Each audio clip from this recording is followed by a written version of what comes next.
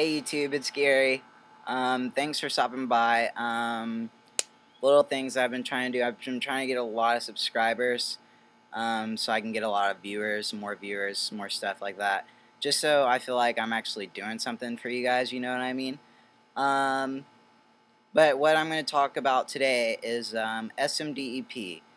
Um, I'm going to start a series of sites. There's 12. There's 12 sites um, and they're it's a nationwide program, so chances are you probably won't have to go too far if you are applying for it, unless you want to.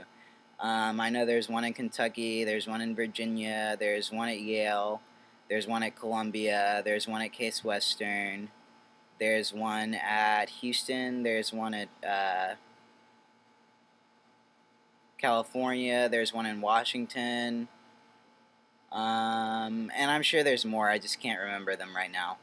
But basically, I'm I went to the Houston site and I just wanted to do a quick review over it. All in all, I'd say that it was a good program. I'd probably give it a four out of five stars. Um, one of the problems that I did have with it was the way that it was ran. Not to say that it was ran badly. I just would have ran it differently. Um, it was it's for medical and dental students, and not all the sites are. Most of them, uh, I think there's eight of them that are for medical and dental, and four of them that are just for medical students. Um, but being at one of the ones with both medical and dental students, I found a, lot of stuff to be kind of uh, like arbitrary.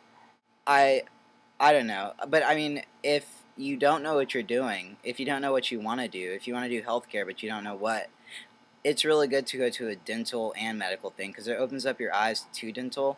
But I'm pretty set on being medical, like I said in my About Me video, if you want to go check that out. But, um, so about half the time, okay, you're, there's, the way they're set up in Houston is that there's 60 medical students, uh, 20 dental students, which makes up 80 scholars overall.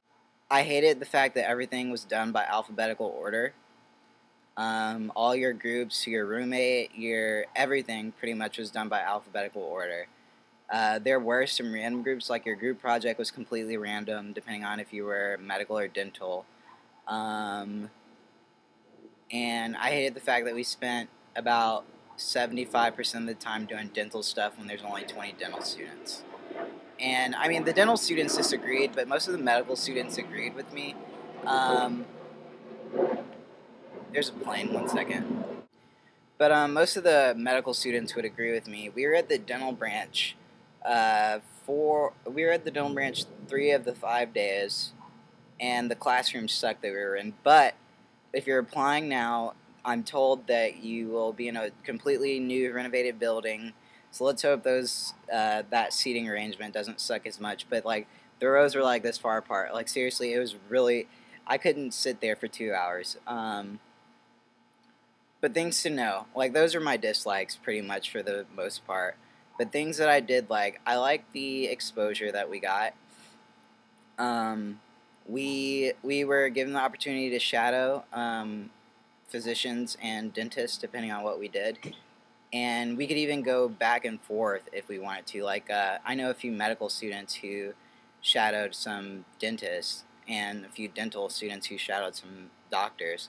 Um, or physicians, because I guess dentists are doctors too. You were only given one day to shadow, like one designated day was for you to shadow, and the rest you had to find on your own. Which I mean, if you can make time for it, it's cool. But I think most guy, most people will find that it's a very overwhelming program. Like uh, the the way they scheduled it for us was we were we were up and learning. Like we were in the classroom at eight and also we were we were in the classroom at eight. We got a ten minute break, uh, I think every hour. I think, and we would have a lunch, an hour for lunch, and then we would be doing stuff from twelve, from one one to five, and then at five we were done with the day supposedly. But um, you're taking classes, you're getting spoken to by different people in the profession, um, different types of people. You're getting spoken to by academic advisors, financial advisors. So it is for freshmen and sophomores only. So if you're if you are getting ready to be a senior, I guess you shouldn't apply for it. But if you're getting ready to be a sophomore or getting ready to be a junior, you should go ahead and apply if you're interested.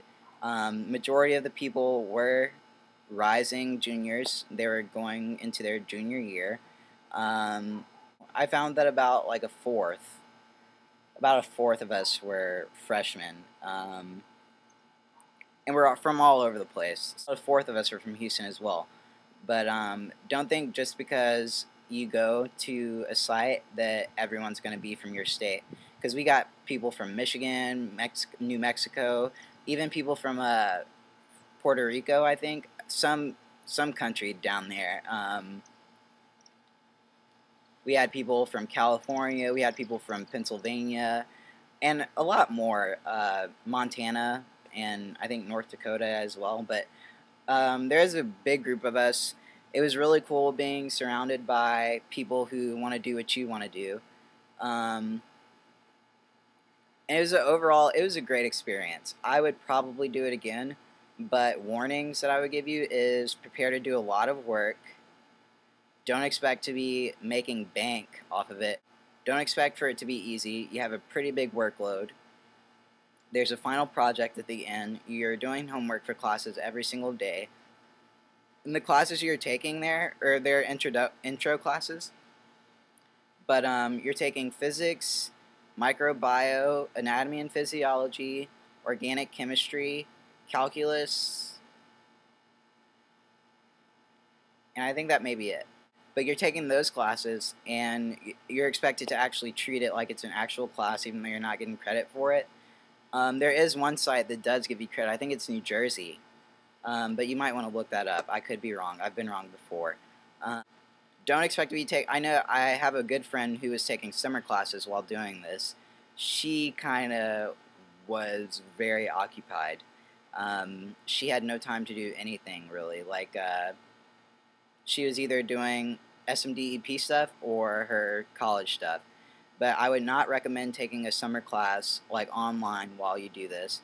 I would not recommend any other kind of academic work.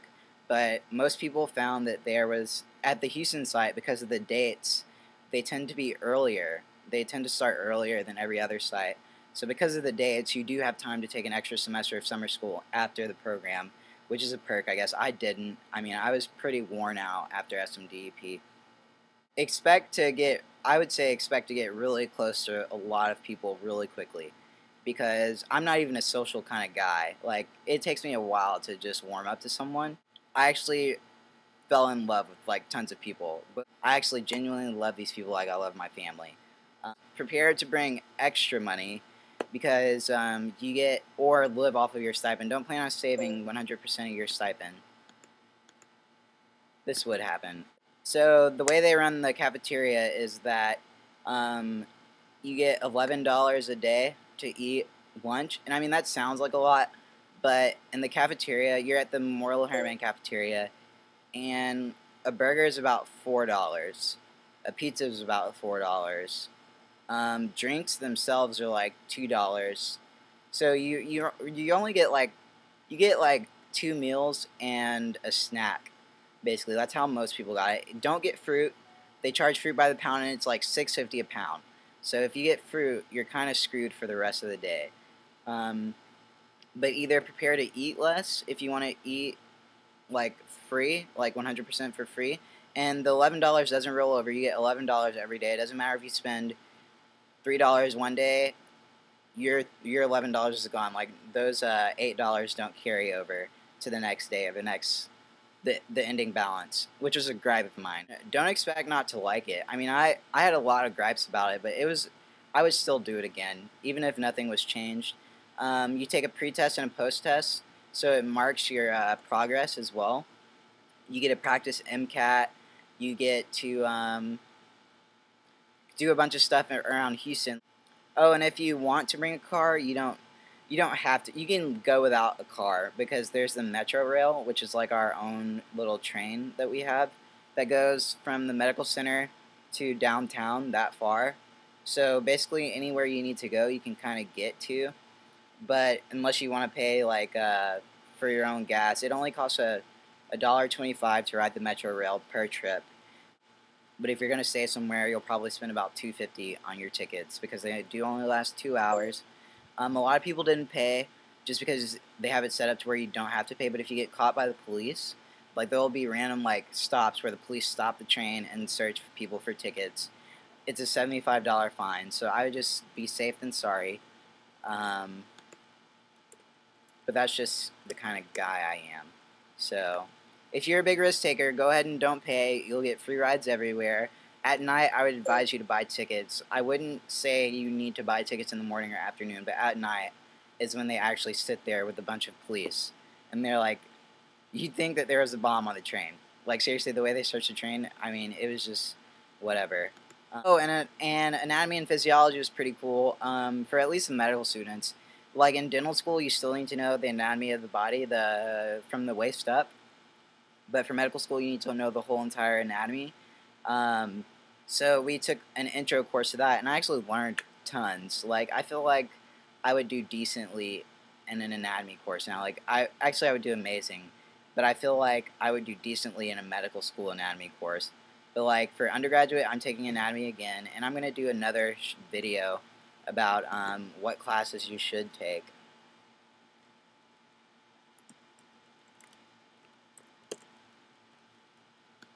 But I'm going to do another video about what classes you take, you should take. But um, the this anatomy class was amazing. Like we got our, we didn't get our own cadaver, so to speak, but we all got a part of the body. Like uh, I was in charge of the leg. My, you're broken up into groups and you're in charge of different things. Like I was in charge of my group was in charge of the leg and the knee joints. So we had to teach that. We had to learn that first, and then we got to teach that to other people. And then if you're in charge of the brain, you have to learn that first and teach that to people. So basically, you're teaching yourselves the anatomy of the body, which is supposedly what happens in med school. So, um, and it's like a legitimate anatomy course. And the physiology course is more of a lecture than it is a lab. The anatomy part is more of a lab than it is a lecture. So it was a very, this class was amazing. Like I'm not, I that was probably my favorite class. The calculus, but all in all, I'd say that it was a good program. Uh, and I'll do reviews on the other ones with other people that have actually went. Like I have friends who have actually went to other ones, and then you can just decide where you want to go from there. I hope this was helpful to someone, and I hope someone appreciates this. And like I said, there's more to come. I'll be talking with one of my really good friends, Megan, she went to the University of Washington site. I have a good friend, Heather, who went to the uh, UCLA site. So I know that there's already one up for Virginia. So if, if I don't make that happen, there's always that video. She went to the she went a year before I did. So there's always that video, and um, I believe there's one up already for Yale. So check those out if you're interested. Um, the Virginia video is exactly kind of like this. She touched on the high points, low points, how it helped her, and stuff like this. I don't know about the Yale one. I think the Yale one was supposed to be a as you go kind of review, and I think you only did one because it's that overwhelming. Like if you have plans, don't don't be prepared to stick to them. It's pretty overwhelming. All in all, I made some great friends. I learned a ton of stuff. Got re- a ton of stuff that I already knew enforced, reinforced. Um, and I mean, it, it was just an experience to remember. Thank you guys for watching. I really appreciate it. And I hope this helps someone. Um, and please rate, comment, and subscribe. I would love to get your feedback on what you want to see differently, what you really liked, uh, what you kind of want to do. So uh, I hope you guys really enjoyed this. And please let me know what you want to see, what you want to hear, what you want to know, stuff like that and I'll be help I'll be glad to kind of get that. And if I don't know it, I'll find someone who does and relay the message. So I hope you guys have a blessed Sunday. I'm gonna go enjoy the rest of mine. Hopefully, let's see what Sunday has in store for us. All right, goodbye. Holla for a dollar for a pina colada. I'm actually gonna keep doing that. So if you hate that, I'm sorry. Okay, bye.